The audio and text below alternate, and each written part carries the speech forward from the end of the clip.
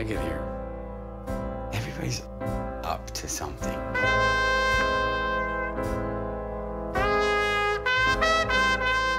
Hiding something. Everybody's got an angle. And everybody is guilty.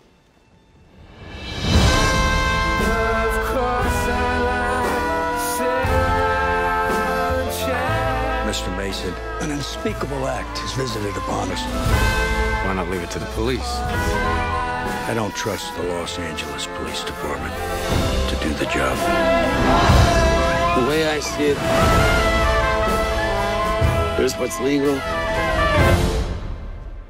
and there's what's right.